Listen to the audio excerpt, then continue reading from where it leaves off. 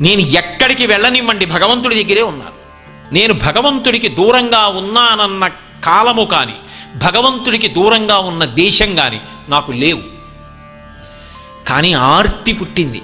ఈ పృథివీ అంతా లింగమైపోయి నిలబడి ఉంటే ఒక చోట లింగస్వరూపాన్ని పొందితే నాకు దాన్ని చూడాలనుంది అనిపించింది అనుకోండి అది కాంచీపురంలో ఏకాంబరేశ్వర లింగం. అక్కడికి వెళ్ళి అభిషేకం చేశారనుకోండి సమస్త పృథివీ విభూతులకు చేశాడు అని గుర్తు. అందుకే ఎక్కడి నుంచి వచ్చింది ఆ లింగం? ఇప్పటికీ చూడండి మనకి అభిషేకం చెయ్యాలి అంటే అత్యంత తేలిక మార్గం ఏది అంటే పృథివీలింగం. ఏటి ఒడ్డుకి వెళ్ళి బంకమన్ను తీసుకొచ్చి శివలింగ స్వరూపాన్ని చేసి అక్కడ పెట్టి దానికి అభిషేకం చేస్తారు. అలాగే మొట్ట పార్వతీదేవి ఒకనకొకప్పుడు ఒక కారణం చేత శివలింగాన్ని చేసింది. ఇసుకతో లింగం చేసి పూజ చేస్తోంది ఆవిడ మళ్ళీ శంకరుణ్ణి చేరుకోవడానికి. చేస్తుండగా శంకరుడు పరీక్ష పెట్టాడు. పరీక్ష అంటే మళ్ళీ మీరు ఆవిడ్ని పరీక్షించడం అనుకోకూడదు. లోకమునకు ఆవిడ భక్తిని ప్రకటనం చేయడానికి చేసిన మార్గం అని గుర్తుపెట్టుకోవాలి. అందుకని ఆయన ఏం చేశాడంటే జటాజూటంలోంచి పెద్ద ప్రవాహాన్ని విడిచిపెట్టాడు. ఆ ప్రవాహం వచ్చేస్తుంది. ఇప్పుడు ఆవిడికి తను కొట్టుకుపోతానని భయం కాదు ఆదిశక్తి. ఆవిడ ఎక్కడ కొట్టుకుపోతుంది? అది శివుడు సైకతలింగం మట్టితో చేసింది. అది వెళ్ళిపోతుంది నీటిలో. దాని లక్షణం అది. ఆవిడ తట్టుకోలేదు. ఎందుకంటే అది తన భర్త. అందుకని ఆవిడ ఎలా తన పక్కన దుర్గమ్మ ఉంది. దుర్గమ్మని పిలిచి ఆ వస్తున్నటువంటి జలాలన్నింటినీ బంధించింది. వెంటనే దుర్గమ్మ తన కమండలంలోకి పట్టేసింది ఆ నీటిని. ప్రళయ జలబంధిని అంటారు. అంత ప్రవాహం చప్పుడొస్తే తపస్సులో ఉన్న ఆవిడ కళ్ళు విప్పి చూసి అంతెత్తునొస్తోంది ప్రవాహం. కంప కంప అంది. ఇంత నీరు వస్తోంది ఈ లింగం వెళ్ళిపోతుందేమో అని భయాన్ని వ్యక్తం చేసింది. ఆందోళన వ్యక్తం చేసింది. అందుకని ఆ వచ్చిన ప్రవాహాన్ని కంప అంటారు. అది కమండలంలోకి పట్టేసింది ఆవిడ.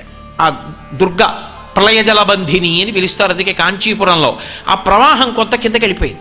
ఇప్పటికీ మీరు చూడొచ్చు ఆ నదిని? అటువంటి కంప దుర్గమ్మ పట్టేసింది. శివుడు చూశాడు. ఏం చేస్తుందో చూద్దాం. అంతకన్నా పెద్ద ప్రవాహాన్ని విడిచిపెట్టాడు. వెంటనే తన అన్నగారు నారాయణుణ్ణి ప్రార్థించింది. ఆయన అన్నాడు అమ్మా ఇదంతా బావగారి చేష్టితం నీ భక్తిని చూడ్డానికి చేశాడు. తప్ప ఈ ప్రవాహాలు పట్టడం అవి ఎందుకమ్మా? నీ ఒక్క కోరిక ఏమిటి? ఆ ఇసక కొట్టుకుపోతుందేమో అని కాదు పృథివీలింగం కాదు చేశావు. అది వెళ్ళిపోవడం నీటిలో నీకు ఇష్టం లేదంతే కదా? నీ శక్తిని దాటగలదా? అది శక్తి గట్టిగా కౌలించు కూర్చో. నిన్ను దాటి కొట్టుకెడుతుందా అన్నాడు. వెంటనే ఉమాలింగన సంక్రాంత కుచకంకణ ముద్రితం లింగమేకామ్రనాథస్య సైకతం సముపాస్మహే. ఆవిడేం చేసిందంటే అన్నగారు చెప్పిన మాట ప్రకారం వంగి గట్టిగా కౌగిలించుకుంది.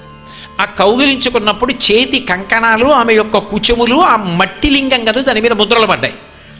శంకరుడు చూశాడు. ఓ ఆదిశక్తి ఎంత ప్రేమ నా మీద ఇది లోకం తెలుసుకోవాలని ఉపసంహారం చేశాడు. ఉపసంహారం చేసి తానే వచ్చి కళ్యాణం చేసుకున్నాడు. అదే ఇప్పటికీ మామిడి చెట్టు కింద కళ్యాణమూర్తులు ఉంటారు. అందుకే చెల్లాయి నేను చెప్పింది నిజమే కాదా అని ఎదురుగోడలో నవ్వుతూ శ్రీ మహావిష్ణువుని నిలబడి ఉంటారు నారాయణమూర్తి. ఎక్కడ భేదాలు ఉన్నాయండి లోకంలో? కాబట్టి అంత సంతోషంగా కామాక్షి ఏకాంబరేశ్వరుల యొక్క కళ్యాణం ఇప్పటికీ సుగంధపు తలాంబ అంటారు. ఆ వివాహం జరుగుతుంది. ఇప్పటికీ మనం చూస్తే మామిడి చెట్టు కింద ఉంటాయి కళ్యాణమూర్తులు. అది పృథివీలింగం. అమ్మవారు చేసిన లింగం ఏదుందో ఏది ప్రవాహం నుంచి రక్షింపబడిందో దేని మీద ఇప్పటికీ పార్వతీదేవి యొక్క కంకణ ముద్రలు కుచుముద్రలు ఉన్నాయో అది. అందుకే ఇప్పటికీ కూడా ఏ పదార్థంతో అభిషేకం లేదు. కాంచీపురంలో ఏకాంబరేశ్వర లింగానికి ఒక్క మల్లె నూనెతో అభిషేకం చేస్తారంతే. పక్షి గూడు ఎలా ఉంటుందో బంగారు పిచ్చుకని ఉంటుంది. దాని గూడు గమ్మత్తుగా ఉంటుంది. ఇలా నిలువుగా కవాటంలా ఉండి కింద ఏదో పావులు పట్టేవాళ్ళు ఊతారే అలా ఉంటుంది.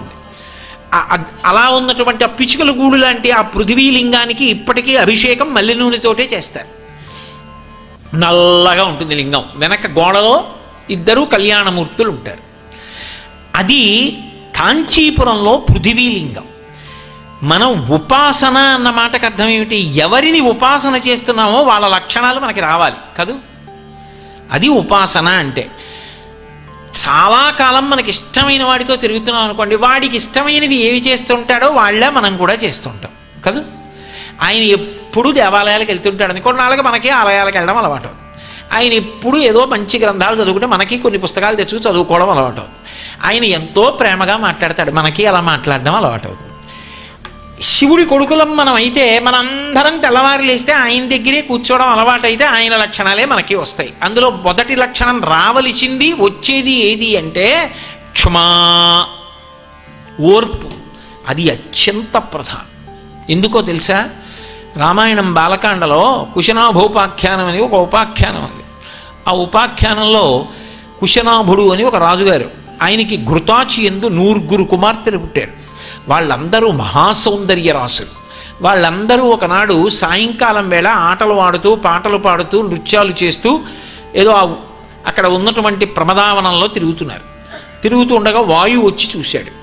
చూసి మీ అందరూ నరకాంతలు కొంతకాలానికి మీ సౌందర్యం భ్రంశం అయిపోతుంది ఎందుకంటే కాలమనందు నిలబడదు. నాకు భార్యలు కండి మీకు శాశ్వతంగా అందం నిలబడేటట్టు చేస్తానన్నాడు. వాళ్ళన్నారు నువ్వు ధర్మం తప్పి మాట్లాడుతున్నావే? అందంగా ఒక కన్య కనపడినంత మాత్రాన నాకు భార్యవి కమ్మని అడగచ్చా? ఆమె తండ్రిని అడగాలి నీ కుమార్తెను మాకు భార్యని చేయమని. మా తండ్రి గారు అంగీకరిస్తే నీకు భార్యలో అవుతాం. పితాహి ప్రభురస్మాకం దైవతం పరమం హిసహ మాకు తండ్రి దైవం. ఈ దేశమునందు ఎన్నటికీ కూడా తండ్రిని సంప్రదించకుండా తండ్రి నిర్ణయించకుండా ఆడపిల్ల తన భర్తని తాను నిర్ణయించుకునే దుర్దినము రాకుండుగాక అన్నారు వాడు. పితాహి ప్రభురస్మాకం దైవతం పరమం హిసహ కాబట్టి మా తండ్రిని అడుగు అన్నారు. ఆయనకు కోపం వచ్చింది కోపం వచ్చి వాళ్ళ శరీరంలో వంకర టింకరగా తిరిగాడు. తిరిగితే వాళ్ళందరికీ గూని వచ్చి అవయవాలన్నీ కూడా శక్తిహీనములై నేలబడిపోయారు.